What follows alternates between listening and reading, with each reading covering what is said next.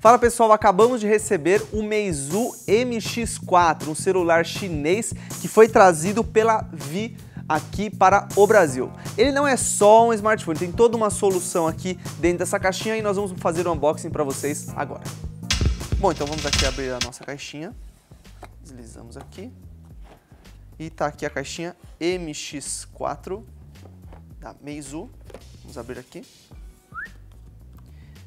Tá aqui então, parece um livrinho aqui, ó. Parece um manual de instruções, mas na verdade, ó, você abre uma primeira página, tadã, abre uma segunda página, tadã, e a terceira tá aqui o Meizu MX4. Vamos deixar ele aqui de lado, a gente já fala um pouquinho dele, tá?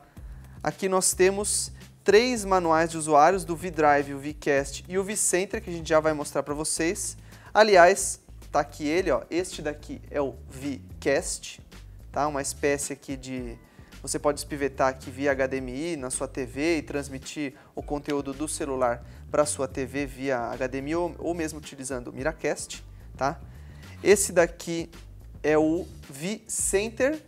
Ele é uma espécie aqui de bateria recarregável, tá? Ele tem 5.000 mAh, então dá para você recarregar em seu smartphone, no caso o MX4 ou qualquer outro smartphone né, que você tiver.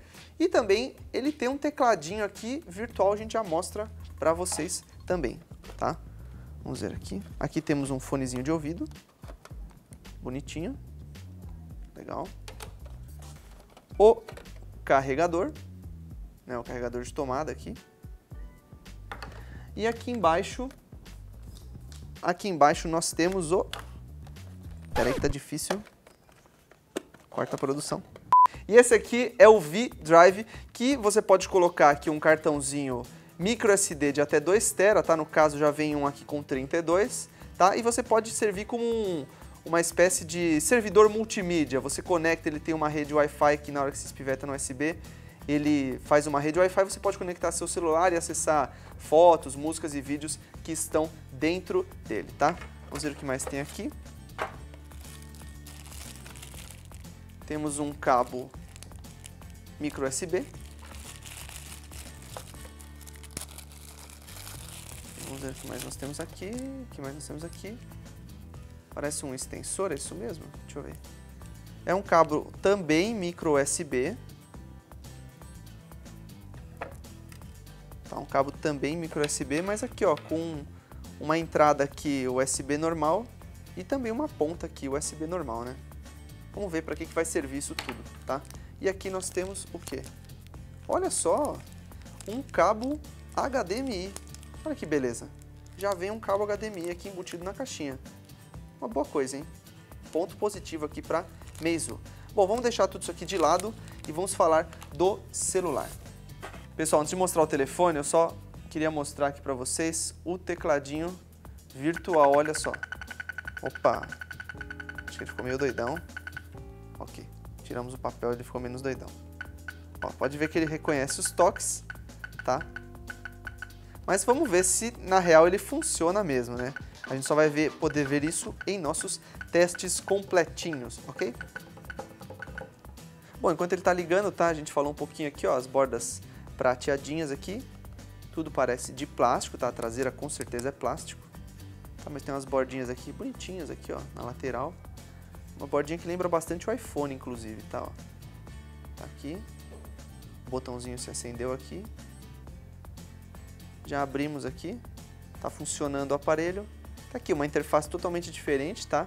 O sistema, operacional, o sistema operacional dele é o Flyme, tá? O Flyme 4.5, na verdade, ele é baseado no Android 5.0. É uma customização aqui, né? Vamos mostrar para vocês aqui. Totalmente diferente aqui. Tá até de aqui, ó. Android versão 5.0.1, tá? Bom, falando um pouquinho então sobre especificações, esse telefone aqui traz um processador octa-core, tá? São quatro núcleos de 2,2 GHz e outros quatro de 1,7 GHz. São 2 GB de memória RAM, tá? Então, Aparentemente aí você não vai ter nenhum problema, ó, manuseio aqui bem diferente, tá bem bacana aqui, bem, é, do que a gente, bem diferente do que a gente está acostumado aqui, né? Esse modelo aqui é na cor branca, tá? Mas ele também tem cinza e dourado, não é muito pesado, 147 gramas, 8,9 milímetros de espessura, tá?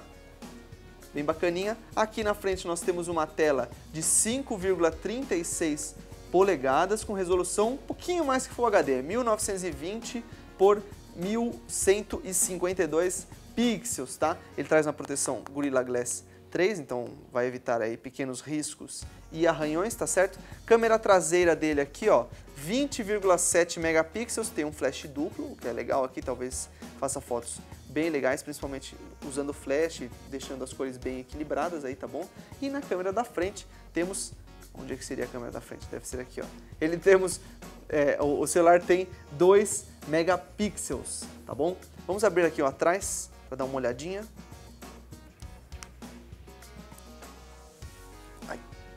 Difícil. Toma cuidado, né, porque é plástico para não estragar o telefone. Muito bem.